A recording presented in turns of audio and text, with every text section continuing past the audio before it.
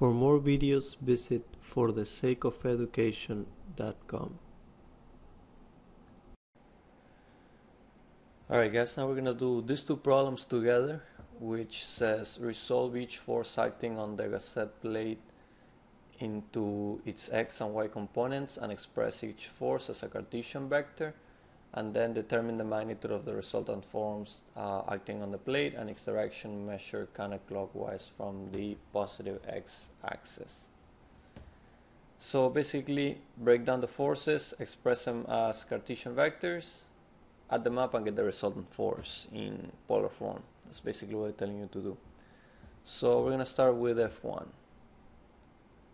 F1 is simply, you can tell just by looking at it, 900 newtons on the positive x directions and that's it. So it's 900 i.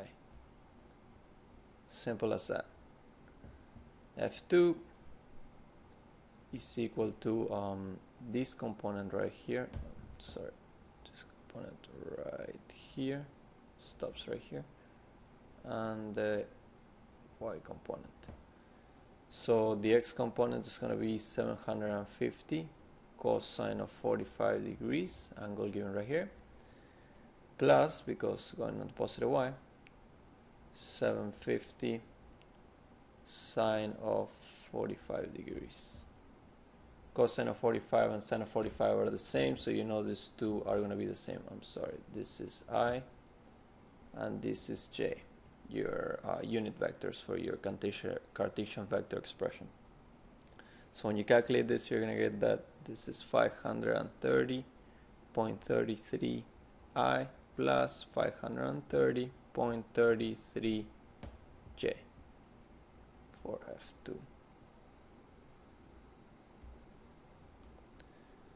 F3 notice that it's going towards the origin it's not emanating away. F3 is pretty simple to calculate. The X component would be this right here and the y components going down. And you're given the little uh, triangle relation. This is pretty uh, easy to use in case you don't know you would do it like this. Look you do the 650 which is the magnitude of what would be the hypotenuse of this triangle which is a 5 so what you do is you're trying to calculate the x which is this component right here. You know that the relation is something like this right? But the magnitude of is 650 so you do 650 times 4 because we're trying to get the x over the hypotenuse which is 5 i plus 650 and now you do times 3 because we're trying to get the y. Actually it's not plus it's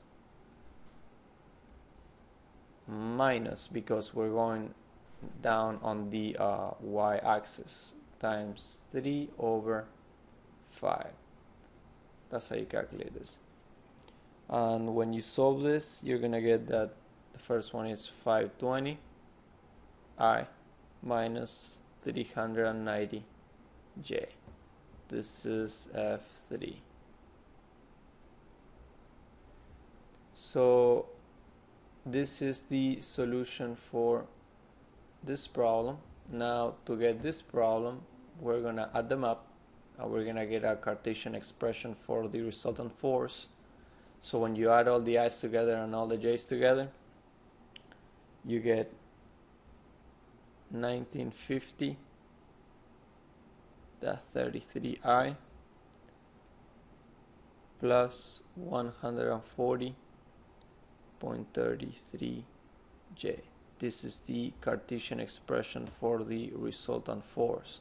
Notice 1950.33 is pretty big towards the x and it makes sense because all the forces are going that way. And then you got a force going up and a force going down and a neutral force. So in the y direction the more or less cancel out but on the x direction is going that way. Always try to look at your answer and make sure it makes sense this way. You know why do I have such a high value for the x and such a, a low value for the y? Let me look at it more or less makes sense. Always try to do that then your problems will uh, be right most of the time.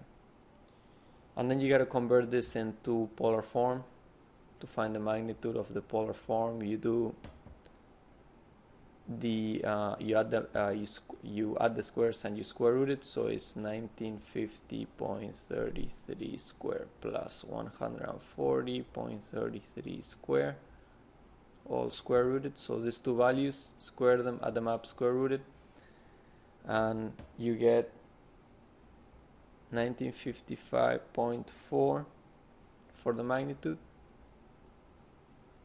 And if you want to find the angle that it forms with the uh, x you do the tangent inverse of 140.33 over 1950.33 and you're gonna get that the angle is very small 4.12 degrees